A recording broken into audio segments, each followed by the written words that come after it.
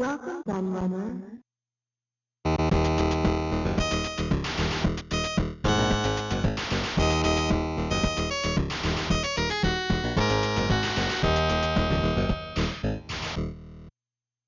It seems that ever since the concept was created, companies have used misleading advertising to sell their products. Okay, so this is a lot more regulated than it used to be, but there are still weekly news stories about adverts and commercials that have had to be withdrawn for making false claims. But false advertising is one thing, it kinda goes with the territory, and is pretty much accepted these days. Putting false claims on the actual retail packaging is another thing altogether, and can lead to companies getting in some very hot water indeed.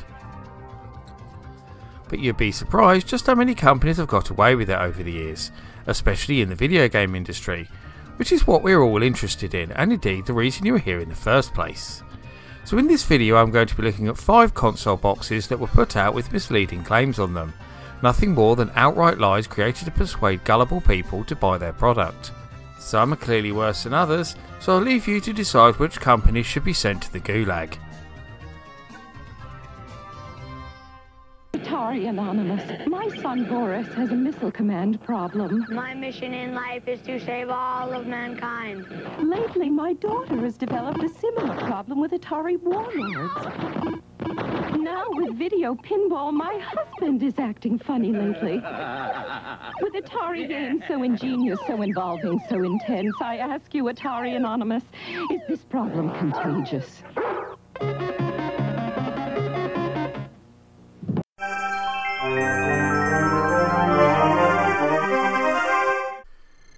Think we should probably start off with the most well known and most publicised example of misleading box art the original Atari Video Computer System box.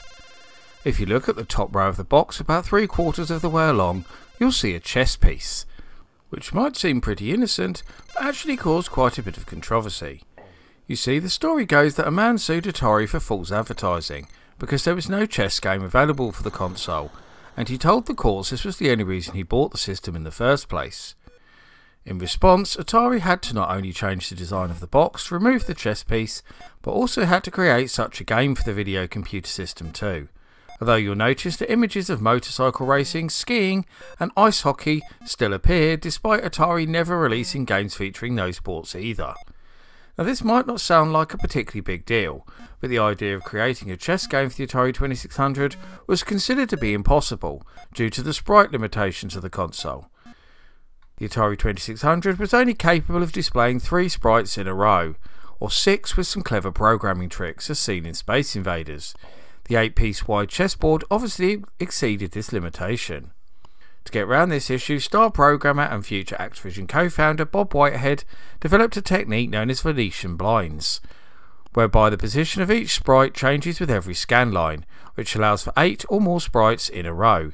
Additionally, the concept of bank switching ROMs was invented for the earlier prototypes of video chess, which were larger than 4 kilobytes in size. However, the released version ended up fitting inside the standard 4K ROM. Video chess ended up being a successful product for Atari, so the extra effort was definitely worth it. But more interestingly, Bob Whitehead has stated in interviews that the whole lawsuit story is false, and he created the game off his own back. I'll leave you to decide who's telling the truth.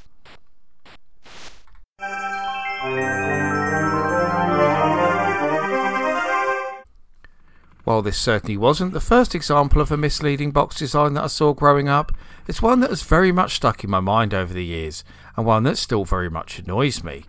So let's stick it straight up and get to the point. Amiga CD32, the world's first 32 bit CD games console. No, nope, nay, never, not.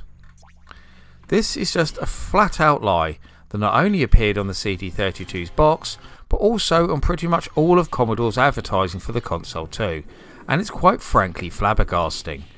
I was working at a branch of Game when the CD32 was launched, and was actually embarrassed to even put that box on the shelf, knowing full well how wrong it was. You see, for those that might not see the issue here, there is the small matter of a Japanese console called the FM Towns Marty. This system saw its debut in February 1993 and was based on Fujitsu's existing FM Towns home computer. With its AMD 386SX CPU, it was most certainly 32 bit, and most certainly the world's first 32 bit console, a claim it actually used in its own advertising. Now, it could be argued that the FM Towns was an obscure and unknown console from the other side of the world that nobody had even heard of, but this doesn't really hold water. I can clearly remember popular magazines of the time like C&VG and Ace reporting on the FM Towns and its amazingly advanced capabilities. For a while at least, it was the dream machine of many a British teenager, and the talk of the playground amongst my friends. So with this in mind, I simply can't believe that Commodore had never heard of the FM Towns Marty, or its 32-bit architecture, and consciously decided to mislead customers when they released the CD32 to retail some six months later. Shame on you, Commodore, shame on you. I guess Fujitsu got the last laugh though, because less than a year later, Commodore were bankrupt the CD32 had been discontinued, and the FM Towns Marty was still carving a nice little niche for itself in the land of the rising sun.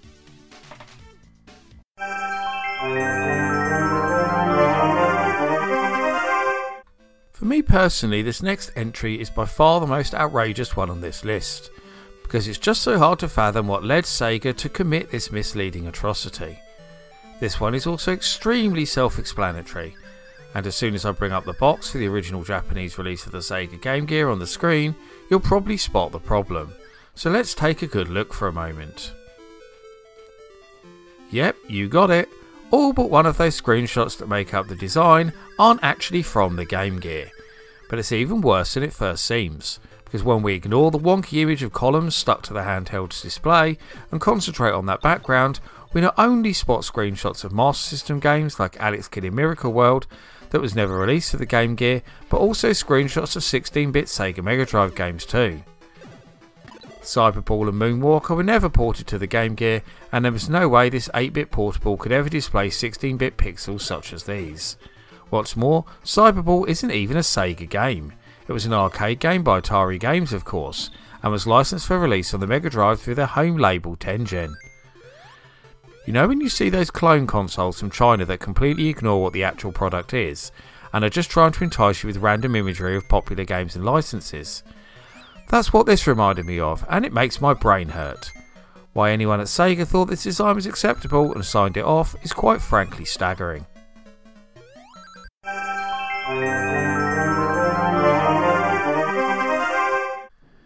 Now this next entry certainly isn't a terrible crime, and is definitely the least misleading of the five, but I just had to include it, for personal reasons more than anything else. So why is the box for Atari's failed CD add-on for a failed console misleading, I hear you ask? Well, it's not because of any claims that Atari might have made, and more what they were promising for its owners. You see, on the back of the box there is a panel on the bottom that shows 10 games that Jaguar CD owners should be looking out for. The big problem is that only 4 of those 10 games actually came out, and one of those is the pack-in Blue Lightning.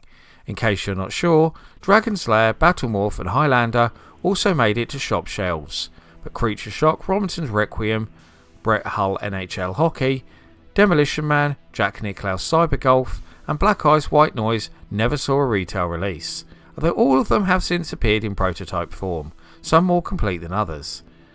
Now it's not that unusual to see the odd announced game remain unreleased, but 6 out of 10 is a pretty bad hit rate, and it surely left a lot of people feeling very disappointed, myself included. I do wonder why these particular games were chosen though, because other titles like Baldies, Hover Strike Unconquered Lands, Primal Rage, Space Ace and Myst appeared shortly after the release of the add-on, yet don't get a mention. Surely Atari would have known what games were ready at release.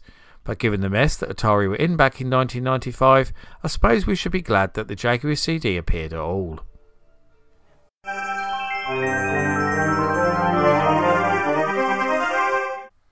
Kept this entry until last for several reasons that I'll endeavour to explain. Firstly because it's probably the least well known example on my list, secondly because it's the most recent example that I found, and lastly because a lot of people simply wouldn't believe that a company like Sony would lie to us. But they most certainly did. Now there are a multitude of different boxes for the PlayStation 1 over its long lifetime, so I should probably point out that I'm talking about one specific piece of packaging in particular, the box for the SCPH 9002 model of the PS1. Now that might not mean a lot, but each revision of the PlayStation has a very specific code number attached to it, and if you do a search online you'll find a breakdown of what each one means, with some models being more sought after than others. Originating from 1997, the SCPH9002 model just happens to be the one I have in my own collection, and that's how I noticed the misleading claims that prompted me to include it here. Now some other models of the PS1 did also use the same box design. I can't actually tell you exactly which ones, but it certainly seems to be the most common variation. So let's take a look at the back of that box now shall we, so you can see what it is I'm babbling on about.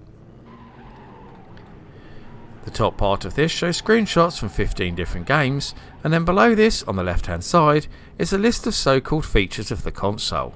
Now I'll zoom in on those so you can get a better look, and I'll talk you through each of them in detail. So first of all there is the claim that the PlayStation is the most powerful CD-ROM console available. Now this isn't completely misleading, but it certainly wasn't the most powerful in every area. For example 2D graphics, where the Saturn would definitely have something to say. You'll notice they specifically said CD2 in order to exclude the Nintendo 64. The next one makes some fantastical claim about the console offering a fully immersive gaming experience. Now the dictionary definition says that immersive means a computer system generating a three-dimensional image which appears to surround the user. This sounds more like VR to me than a spotty teenager sitting on his bed a metre or so away from an old CRT TV. Then Sony go on to claim that the PS1 offers unparalleled data storage of up to 650 megabytes.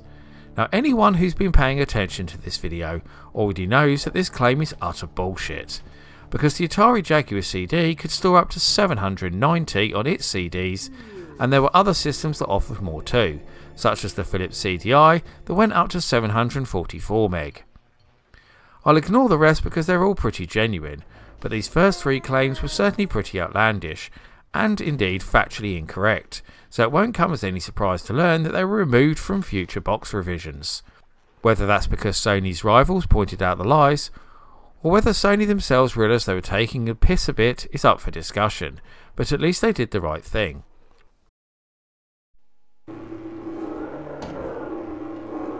Let me tell you what bugs me about human endeavour. I've never been the human in question. Have you? Mankind went to the moon. I don't even know where Grimsby is.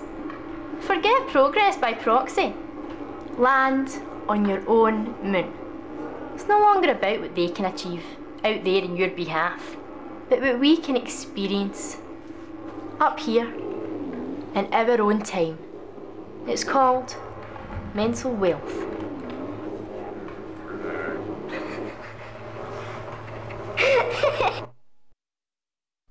And that concludes my look at 5 highly misleading console boxes. Which one did you think was the most misleading and can you think of any other examples that I could have included? I always love to hear the thoughts and views of my audience, so please get typing in that comment section. Before I go though, I must thank all of my little patrons for continuing to support my channel and make videos like this possible. However, I must give special thanks to the following patrons in particular, their much appreciated pledges. Mitchell Valentino, Neptune, Seth A. Robinson, Carl Olsen, Dos Gamerman, Tiago Piera dos Santos Silva, and Electron Star Collapse. If you also want to help support all my creative endeavours, including this YouTube channel, then please go and check out my Patreon right now. You can get access to a host of extra content, including downloads, exclusive videos, creative insights, and much more besides. I've been the Laird, I thank you for watching, and I'll see you all again for another video very soon.